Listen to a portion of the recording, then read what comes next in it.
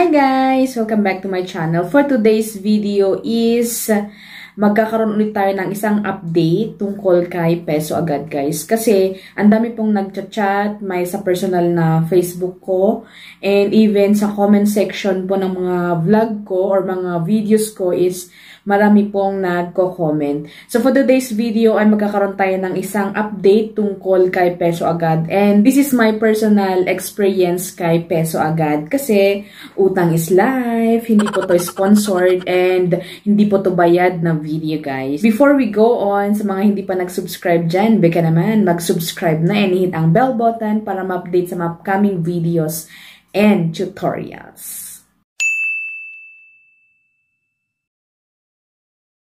Alright guys, so pag-uusapan nga natin si Peso agad. So this time is may existing loan po ako na um, worth of 4,800 in total with interest na po yun guys.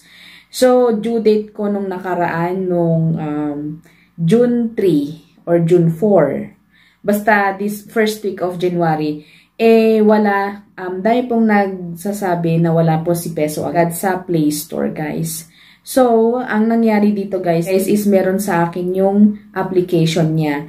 So, ang problema lang dito sa mga ibang nagkautang kay Peso God siguro is wala po yung application sa kanilang phone. Pero for me, meron po, hindi po ako nag-uninstall or at whatever, basta meron po sa aking phone.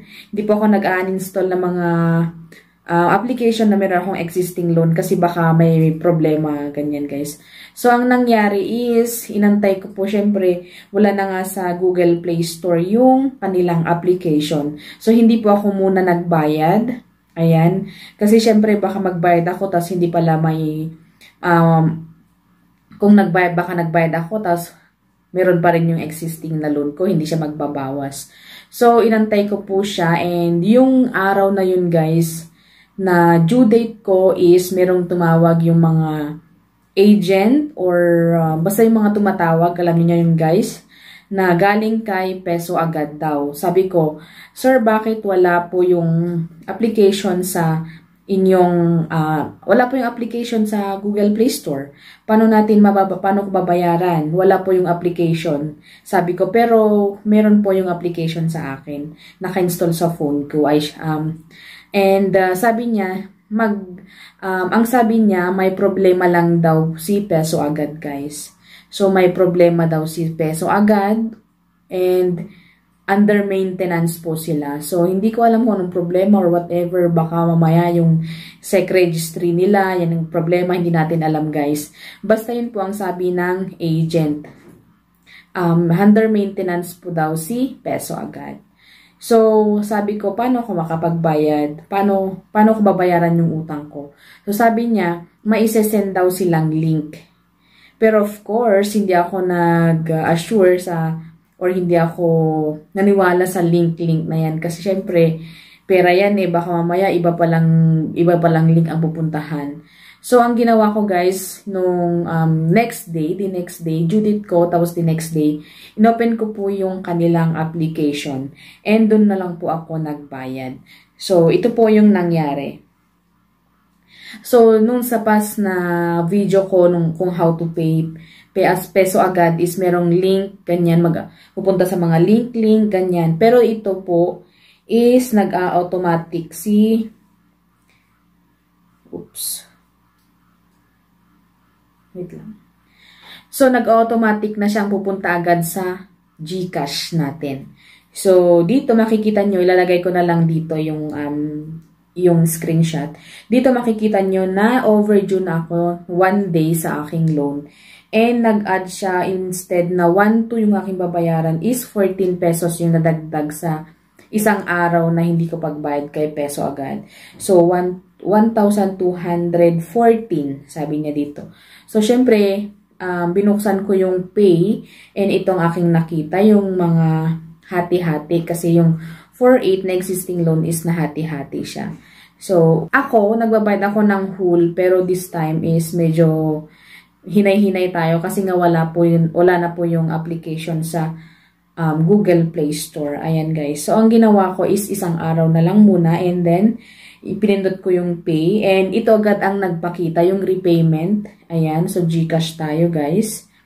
Alright, so uh, makikita nyo dito sa screenshot guys na um, step 1, step 2, step 3, ganyan siya guys. Na ngayon, hindi na siya nagda-direct mismo sa uh, GCash. Or, di ba meron, ta meron siyang pupuntahan na parang link and then pupunta sa my GCash. Yung parang sa um, tutorial ko nung nakaraan. Pero this time, guys, is ipapakita lang niya yung step 1, step 2. Kung, or step, step by step, guys, kung paano natin babayaran. So, magbabayad daw tayo kay SkyPay. Alright? So, pupunta tayo sa may Gcash natin. Okay? And then, pindot natin yung bills. And dun sa may search biller or uh, dito sa my loan, pindutin mo na yung loan. And then, sa my search biller, um, pindutin na lang natin yung SkyPay. So, hindi na siya magdadirect sa GCash. O, diba? Um, tayo na lang ang mag-search sa GCash, yung step by step, binibigay na lang nila kung paano magbayad. So, yun guys, binayaran ko na siya, 1,214. And then, contract number, may bibigay naman silang contract number pag napindot natin yung pay. And then, Ayan, mag-send siya and may, may uh, fee or may charge si Gcash na 10 pesos. Ayan, so confirm lang. And then, once na na-confirm guys is Uh, once na na-confirm guys, sabi niya successful and everything, ganyan.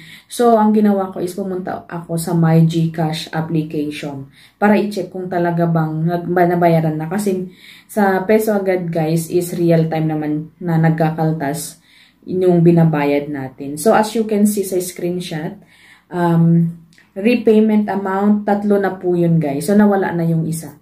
So, meaning, nabayaran na po natin siya. And, meron na rin um, sinend na message si Peso agad na your payment is successful 1,214.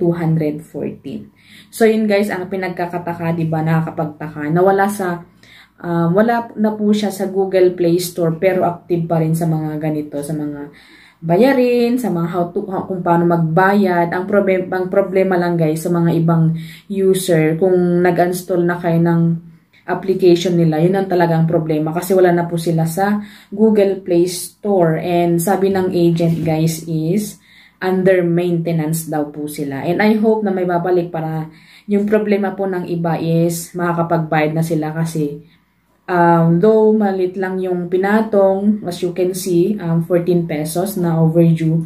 Pero syempre, pag patong-patong na yan, eh, pagkakaproblema tayo guys. And magan maganda rin kay peso agad kasi malit lang yung kanilang interest. So, yan guys, sa mga nagtatanong po, um, I hope na na I hope na nasagot ko yung mga katanungan nyo guys and uh, sana makapagbayad na rin tayo. Thank you for watching! Bye!